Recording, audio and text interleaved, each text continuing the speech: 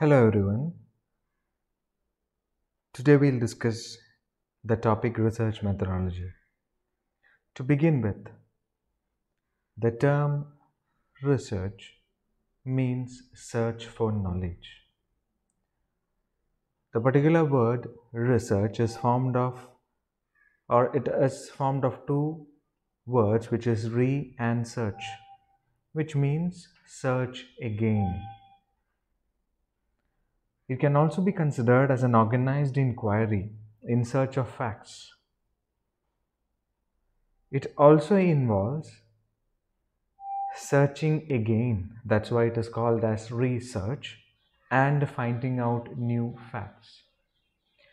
So, in this particular process, what happens is that already established the so called fact will be replaced by the new fact or it will modify the older one. Research can also be defined as a systematic, intensive, and structural process of carrying out scientific investigation. And this scientific investigation results in a formal record of a procedure and report of results and its conclusion. So, this is a systematic uh, way of studying a particular subject where you have different sets of structural processes or different steps to be followed while doing something which is called as a research. So, why research has or why research should be systematic or why it should be formal or why is it necessary to record its results, conclusions, etc.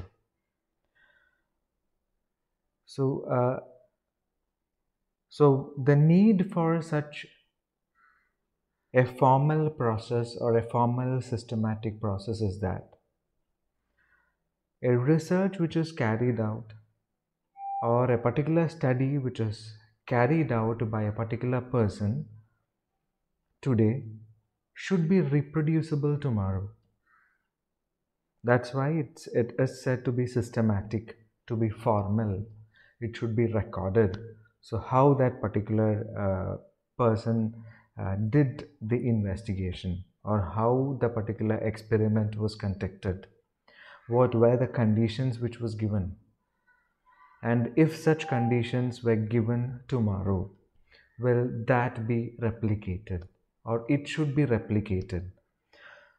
So all this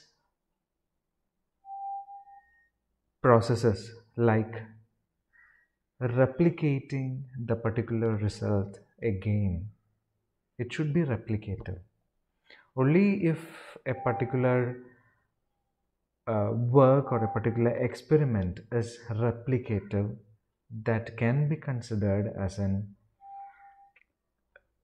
uh, as a particular work of or a particular experiment.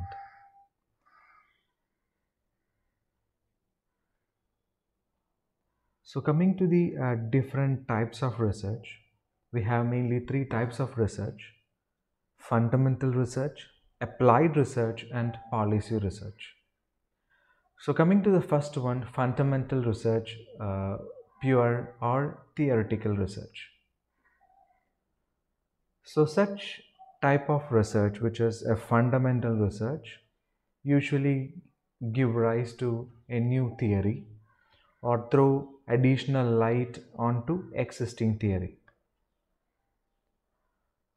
For example, uh, the research or uh, the particular branch of or the type of research which is called as theoretical research involve proving an already existing theory.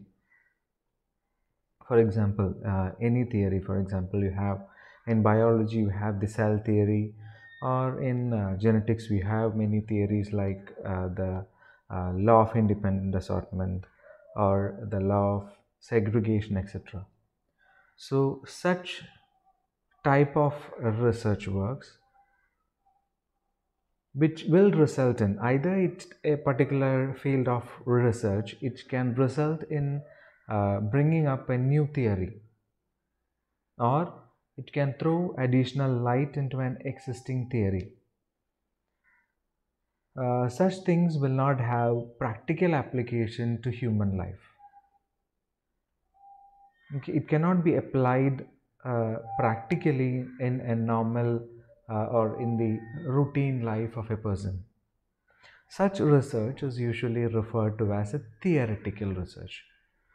Coming to applied research, the term itself is just uh, you can uh, consider it as an opposite to fundamental research, where the result of that particular research will have an application. So, uh, what you are seeing, the mobile, what you are using now, or the laptop which you are using now. So, such things or such a device is a result of a research. Research in the sense, primarily you had a computer which was as big as a room and you needed two or three persons for switching out. Uh, a person will be sitting in front of the screen. It was a screen like that of a cinema theater. And that person will be giving information and there, there will be two or three persons behind the screen who will be uh, switching on the switches so that something will be displayed on the screen. From that computer to a laptop or to an Android or an iPhone which you are having now is a result of what is called as an applied research. Because whatever research is done in that particular field will be directly applied to human life or to humankind. So, this is an example. The field of electronics is an example of applied research. Another main example is in the medical industry or in an agriculture industry. The main example is our uh, COVID vaccines. So, when a need emerged, the pandemic, when the pandemic uh, arose, what happened is many countries, many researchers they devoted their time, they devoted their uh, money, etc to produce something which is called as a vaccine. So, production of a vaccine, which is definitely into uh, the medical uh, kind of research, is can be also considered uh, to be part of what is called as an applied research, where you have an application to the uh, end result of the research or the end result of that particular work. So, coming to fundamental research, which we discussed earlier, in a fundamental research, uh, what happens is that uh, there is no direct application of the result of that particular work that will end up with a theory or it will end up with throwing light into an existing theory or modifying the existing theory or adding up to it etc so whenever you have a direct application of a particular work or direct application to human life that will come under what is called as an applied research. The same as with agricultural field or agricultural research, where uh, the particular research work, for example, a particular scientist is working to improve uh, the yield of a particular crop. So the end result is the yield will increase. So that increase in the yield is a result of that particular work and that will be applied because that can be uh, or that will result in uh, yielding or uh, increase in yield of that particular crop which is also useful to humankind that can be applied directly so such research come uh, come into what is called as an applied research. Coming into the next one which is called as a policy research. Uh, usually results in policy implementation then uh, adding to theoretical knowledges etc So such results or such type of research, that is policy research, uh, comes under both uh, science as well as for arts. You can have policy research. So the end of a policy research is implementation of a policy. An example is the budget. So what we hear is a budget which is announced by either the finance minister of the state or the finance minister of the central. So before they come up with a budget, they will have many surveys, they will have many calculations about the previous year's budget, previous year's expenditure, previous year's uh, income, etc. So uh, depending upon that, a budget will be uh, produced. So a budget is nothing but they will have many uh, policy in a budget. So the same, uh, if you take an example of uh, our um, vaccines policy, the vaccination policy. Okay, that is also dependent on many uh, survey or a, a policy is being created for example, in the first set of uh, our uh, vaccinations, okay, there was a policy where uh, the age group above 60 was being vaccinated. Coming to the second one, um, above 45, etc. So, uh, so these decisions or these decisions are based on something which are called as surveys Okay, so uh, when uh, the government decides to provide vaccination for the age of 60 above, uh, the fact is that because they are the most vulnerable people, because uh, their uh, immunity level is low, etc. So, uh, depending upon that considerations, a policy is being implemented. So the same as with or policy research mainly comes uh, whenever uh, decisions are to be made for a state or a central extra for uh, generating a policy. For example, we had five-year plans uh, in the earlier governments. They had a five-year plan for the next five year. What will be done, etc. So all those is uh, based on something uh, which is called as a policy. The end of a policy research. So these are the main types of research, fundamental research, applied research, and policy research. Hope uh, you get the difference of uh, the three fundamental, applied, and policy research. Next, coming to what is called as a research project. So, a research project is a pre planned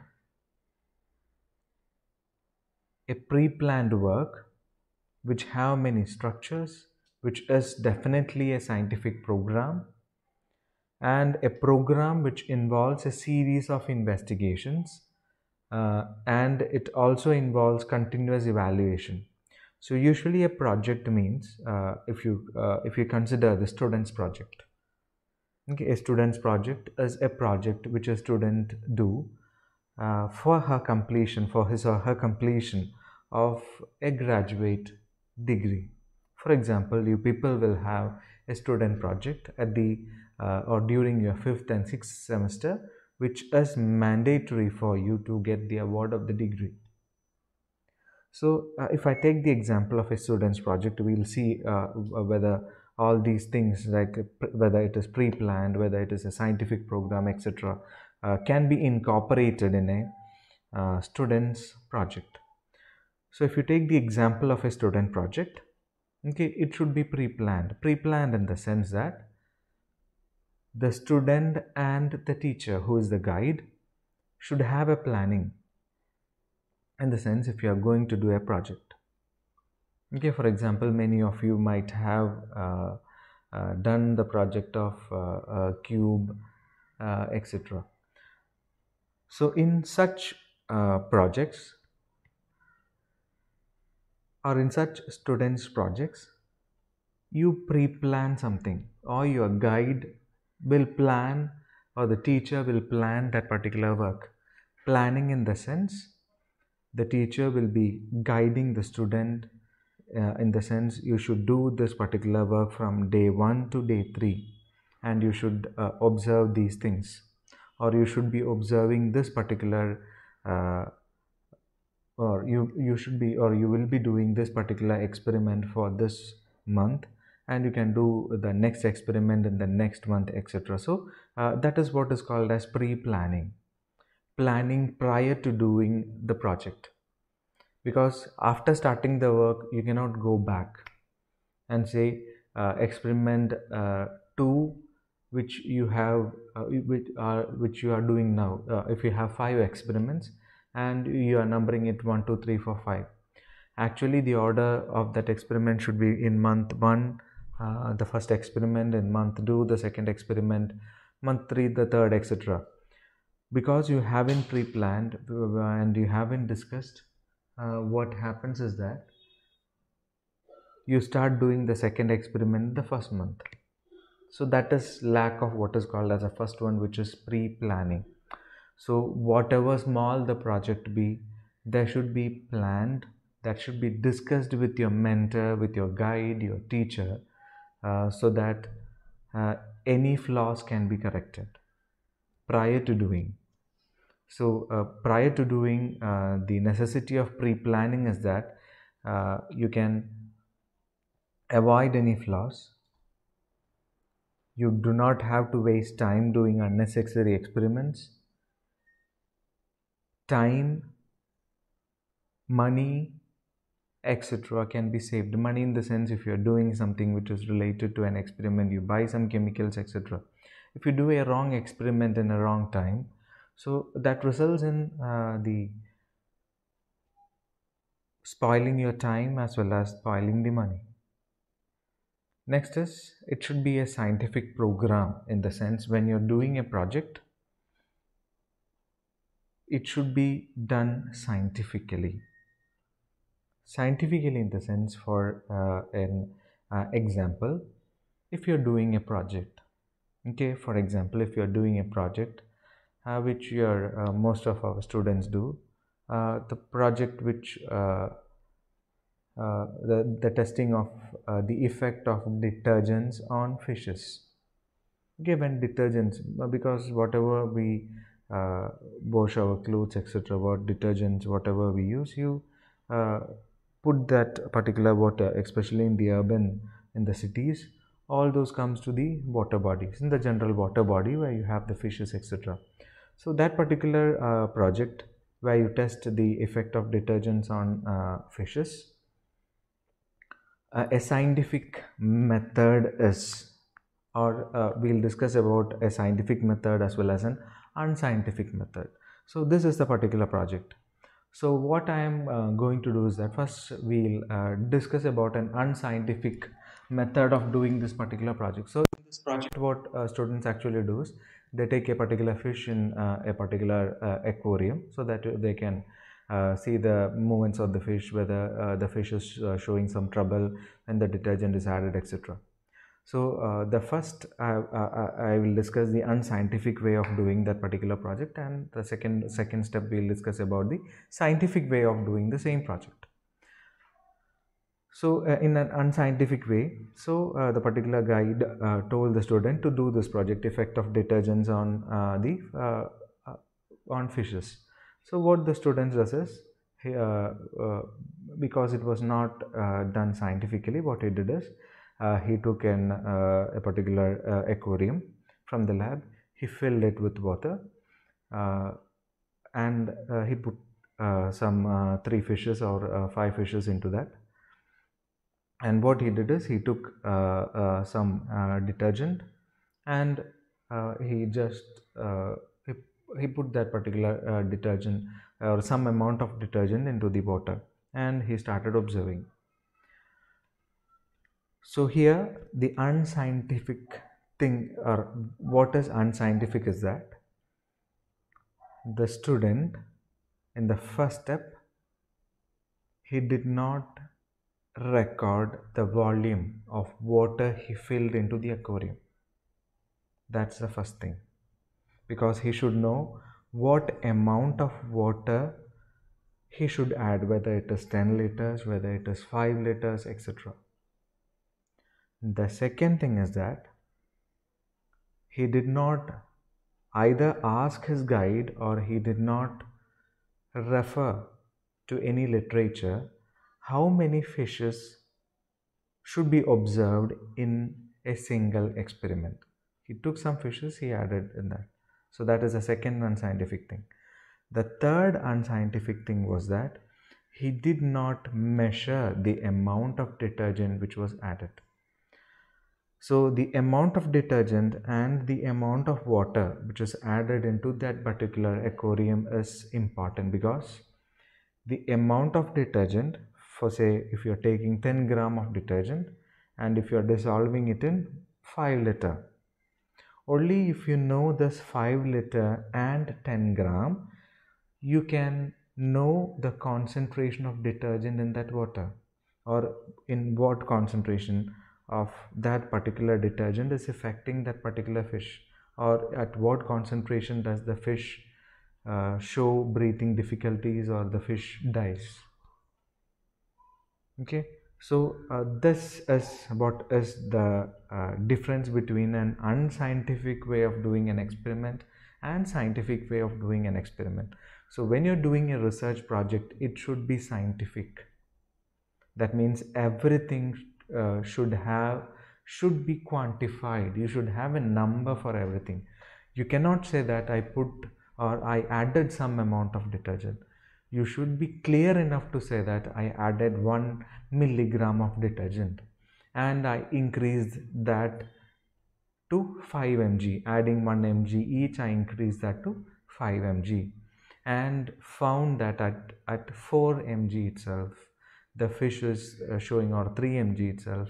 When I added 3 mg of uh, detergent in 5 liter the fish was showing breathing difficulty. And when it was increased to uh, 5 milligram per 5 liter the fish died. So there you have a number to represent the concentration of detergent you added so this is an example of so in every project uh, whenever you are doing a project please keep in mind that whatever experiment you do it should be quantified whatever experiment, whether you are doing it in the lab or you are doing it as a survey. Okay, you will have two types of uh, uh, students projects uh, when you come to a graduate program. Uh, some will be interested in doing a survey type of research. In a survey type of research also, uh, so when uh, you talk about a survey, uh, what you do in a survey is you will have a questionnaire you will distribute the questionnaire to your uh, sample population uh, for example if you are going to see the nutritional level of your classmates you will have a set of questionnaire and you distribute the questionnaire to different of your classmates so 50 or 60 individuals. So there you have a number your total sample size is 60 and in that 60 from each question you can quantify it. So for the first question how many of uh, the students is having a regular breakfast? For say uh, 40 out of 60 so that gives you a number so for every project whether uh, it is an experiment inside the lab whether it is an uh, survey type of project everything should uh, have something which is uh, quantifiable in terms of number. Only with that number or uh, whenever uh, you are having something in numbers as a result you can communicate with to others easily so communication in the sense that in a survey project if i am telling that uh, some of the students are uh, taking breakfast in the morning so what does that sum denote so if you put it in another way, if I'm putting it as a number, out of 60 students sample, 40 students are having regular breakfast in the morning. So it becomes clear that sum is replaced by a number which is which gives a clear uh, result or a clear idea of what you are doing to the one who is hearing you. Okay there is if you're doing a particular scientific project there are or that uh, should be communicated to others. So when you communicate it to others that communication or that second level of uh, uh, project which is communication is the uh, end of your project where you have an oral presentation which is valued by usually it was valued by external uh, an external investigator who will ask you questions when you present it etc so when a particular a new person other than your guide uh, hears this particular project or when you communicate with that particular person if that is denoted in numbers or uh, uh, something which is quantifiable that gives more level of communication to your project or your results. Your research becomes more communicable to others. What you have done becomes more to be communicated to others. So that is what is called as a scientific program. So it involves as i said it involves a series of investigation. Series in the sense for every research project it should be as i said it should be replicative. Okay? The main example of this replicativeness is uh, what you do in your chemistry lab. When you do a titration if you get uh, or you record that particular uh, endpoint only if you get that endpoint three times. The same endpoint three times the same is with every research project. You cannot close a particular work by doing it once. You should repeat it. So uh, that is what is called as a series of investigation because it should be repeated uh, or uh, at least three times depending upon the uh, samples involved. Depending if you are doing a project on fishes you cannot hamper 20 fishes for an experiment so that is enough if you do with three three fishes the same uh, if you are doing a particular detergent you have to do the same with three fishes to confirm whether it is correct because in the first uh, experiment as we said the fish showed difficulty at 3 mg and it died in 5 mg. In the second, in, when you do it in the second time, if you get it in the same pattern, you can confirm that what you did in the first thing was true. You can do it for one more time. And if you do it thrice, what happens is that particular result is confirmed to be true is that clear so that is and that is also what is called as a continuous evaluation continuous evaluation in the sense that is also applicable to a student's project that is if you're uh, usually for your graduation program the uh, uh, the stipulated time to complete is depending upon the project it can be 3 months it can be 6 months etc so whatever the stipulated time mean time be you should have continuous evaluation. Continuous evaluation in the sense if you do a particular experiment you show the result to your guide. Okay you did it three times you replicated it and there was some problem. So your guide will suggest some changes to be incorporated in the study. So that is the need for continuous evaluation so that the errors etc can be uh, discussed and it can be monitored or what are the causes of errors etc can be uh, evaluated. So that is what is called as continuous evaluation till the end of the project. And monitoring until completion. Monitoring means if uh, in a student's project monitoring is done by the teacher or the guide and it should be completed in a stipulated time.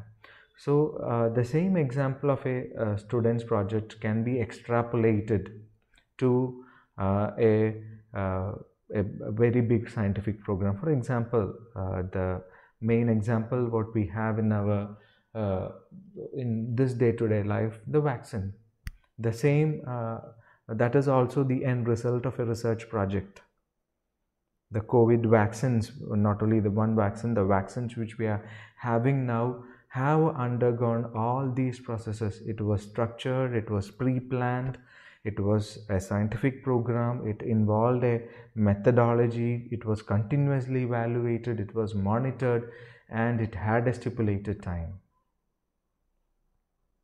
okay so uh, an example of such is a human genome project uh, a human genome uh, the human genome project is nothing but it was uh, the uh, the so called the largest project humankind has ever done. Largest in the sense that for this particular project, the Human Genome Project, scientists from every country in the world united or they were working together to accomplish this particular task at different centers. They were working to accomplish this particular task which is called as a human genome project. It took about 10 to 15 years for completion. So different scientists in different parts of the world were working with the same project and the result of all those scientists were put together to complete what is called as a human genome or the sequences of the human genome was deciphered uh, by this particular project uh, which is called as a human genome project and coming to the types of research projects, you have individual project. Individual project is an example uh, where a particular scientist is having a project and he himself is doing uh, that particular project and that comes under what is called as an individual project. Uh, group project means uh, several uh, scientists together okay doing uh, the same uh, doing a particular project that is called as a group project that is you have a single project which is being done by different uh, uh, scientists in a particular institute that is called as a group project. Uh, for example uh, there is a project in our college and that project is done by teachers from uh, zoology department chemistry physics etc such a project will be called as a group project. And if a particular project is being collaborated by uh, teachers from different colleges or from different research centers of the world like a human genome project that is called as a collaborative project. And student project is a short term project uh, which is usually uh, done to fulfill the criterion of a particular graduation either undergraduation or post graduation etc so these are the type of research projects. So uh, this was just an introduction to what is called as a the topic which is called as research methodology uh, where we discussed about uh, the term research. We discussed the different types of research the three types of research. We also discussed uh, what can be considered as a research project and the types of research project. So in the next class we will be discussing about the method of research or research methodology or steps which are involved in doing a research project. Thanks for hearing.